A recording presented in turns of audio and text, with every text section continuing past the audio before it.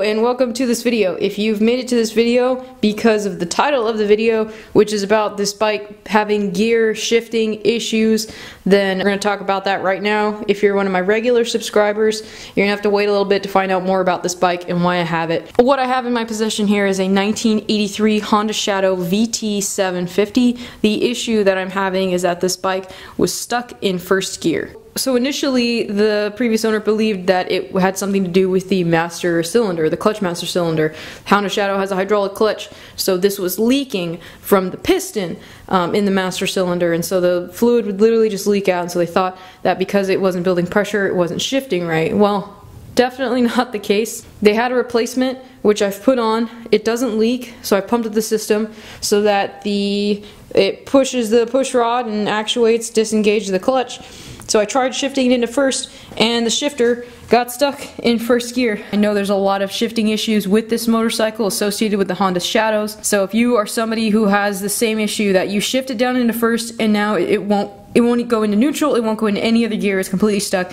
Uh, this is the fix for it. I'm just going to walk you through a little bit what I've done and I'm also going to put a link to a forum of how to fix this. It's not the clearest thing, so I just wanted to explain and make a video because I haven't been able to find any videos on this exact repair. I'm going to throw a picture up right now of the two gear shift spindles and where they meet. All this repair requires is that you pull out the gear shift spindle B which is going to be on underneath the right hand cover of the motorcycle engine and you realign it with gear shift spindle A, the two teeth uh, line up. You just put them together. What happens is those teeth become unaligned, and so then the shifter gets caught up and it can't shift. So this repair is actually not too costly. It's actually pretty cheap to do. All you're to have to do is get yourself some new gaskets and some fresh oil. The only thing is going to cost is time. In order to get this right hand side cover off, you're to have to remove the subframe. In order to get the subframe, you're to have to pull off your foot peg and then after that you have to pull off the exhaust pipe. I also had to pull off the radiator guard.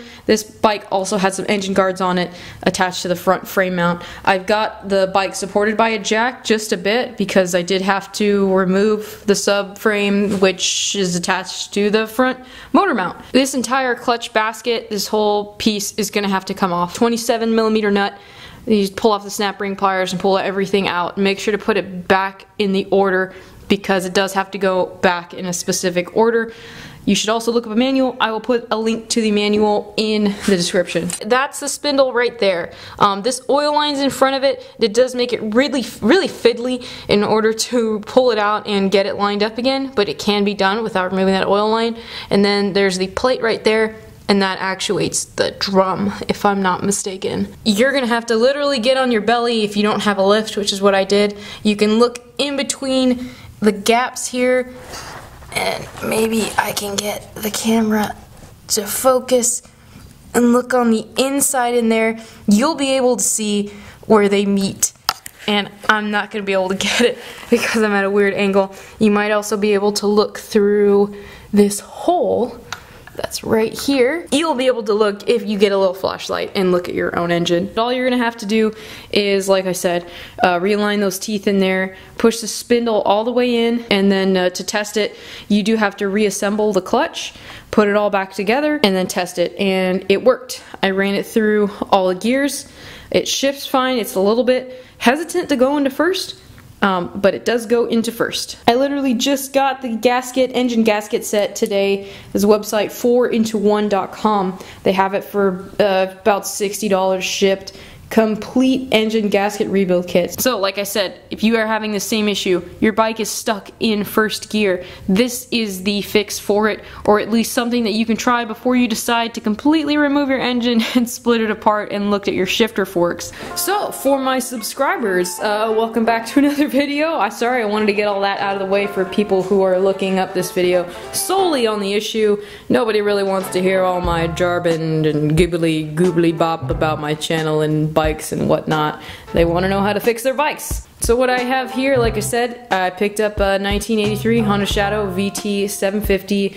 Totally super badass, old school looking bike. I really, really like the look of this bike. Back when I wanted to first get a motorcycle, this was the look of the bike I wanted. And of course everybody was like, oh please don't get an old bike. It's not gonna run right, you're gonna have issues, older bikes, which what do you know? Hey, it's got issues. I paid uh, just a couple hundred bucks for this bike. I did not spend a lot because it has issues. And it also has back fees. So this bike has about $800 in back fees. Oh, whatever. Really awesome seat. It is shaft drive. It sounds awesome. I wish I could start it right now, but I don't have any oil in it because I drained out all the oil so that I could fix it. And I had to wait for all the gasket kits, which came today. So as you can see, my note, no oil you always do this when you're working on bikes. You want to make sure you put a little note there. Says, hey, there's no oil in this. Don't start it. this bike only has... This bike...